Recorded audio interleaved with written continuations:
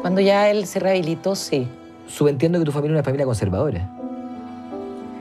Sí, era una familia conservadora, ¿Católica? eh, católica, pero tampoco fanáticos. Mi papá no era fanático. ¿Pero de misa dominical? Sí, íbamos a misa los domingos y era, era, era, era- eran muy antiguos.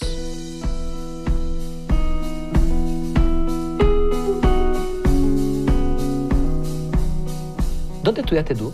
Yo estudié en las Ursulinas. ¿Estudiaste la Ursulina hasta cuándo? Si mis padres no hubieran sido el desastre que fueron, o sea, Ya, mi padre sobre todo y mi mamá, que también fue una persona con carácter difícil, eh, yo no sería la que soy. ¿no? Yo siempre, hay que siempre pensar las cosas, porque Sí. yo estuve en la Ursulina y me echaron ese mismo año que ellos se separaron. Vale, O sea, Y para en- apoyarte en- te echaron. Claro. O sea, para que te, te fijáis cómo eran las cosas en esos tiempos. ¿Pero por qué te echaron? ¿Qué argumento te dieron? Eh, por- tuve un, me, me escapé en un paseo, una weá de cabra ¿Pero chica. Yo tenía tenías? muy buenas notas, ¿ah? Pero tenías 11 años. 11 años, ¿Y te echaron? y me echaron. Y, y me- y mi mamá, yo, yo pensé que me iban a poner en un colegio más, más, liber- más liberal. ¿Eh? No, me metieron en las mujeres inglesas. Pero Pati, sabes que no entiendo nada, de, no entiendo nada de tu vida. O sea, porque yo estoy. O sea, Y- veo una veo Por eso digo, historia. pero yo creo que todo ese, ese sufrimiento, eso que yo pasé, eso que yo viví, esa, esa ruptura con todo lo tradicional y ver a mi mamá también discriminada y, y ver que todo eso que se porque era como que todo lo que se suponía, pero en mi casa todo lo que se suponía no, no ocurría. Y eso empezó a provocar una disrupción entre, En- entre la en- vida y lo que tú veías y lo que te decían. Claro. Y lo que me decían, mm, yo creo que también me dio la fuerza para romper con esa con esas tradiciones, con ese mandato y para empezar a cuestionar. Pregunta. Para empezar a cuestionar ese mundo adulto. Ya, pero pregunta, pregunta. Tú te, te echaron de la Ursulina. Ya. Atroz, imagínate cómo estaba yo. Y además había sido el golpe. Y además encima tu papá se habían separado. Sí, O sea, un año para olvidar, digamos. Ya, te, te cambian a las monjas inglesas. 11 años. ¿Tú hiciste la primera comunión? sí, antes. Más- Ya, la sí. chiquitita. Sí, se hacían como en quinto básico. Quinto, sexto básico. Y así tu primera comunión.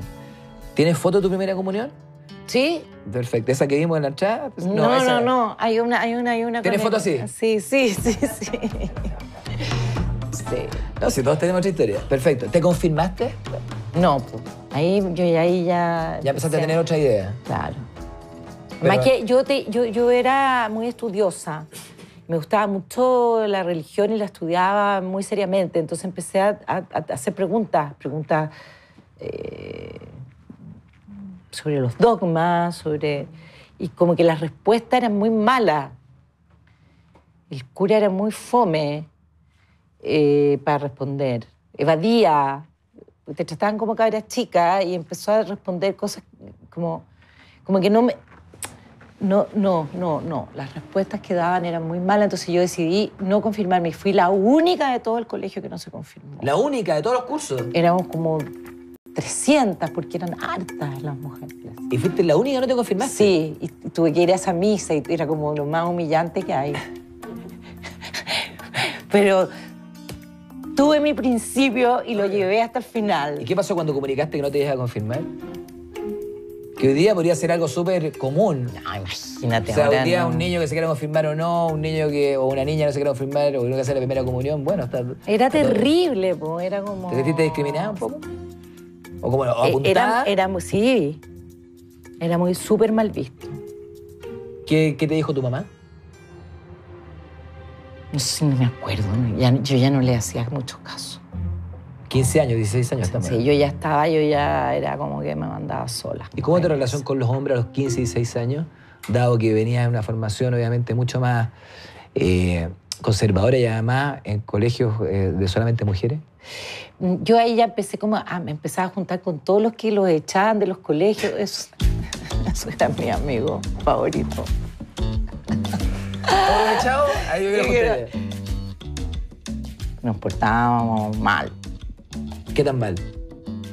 Sí, pues, qué sé yo, fumábamos pito, eh, nos portábamos mal.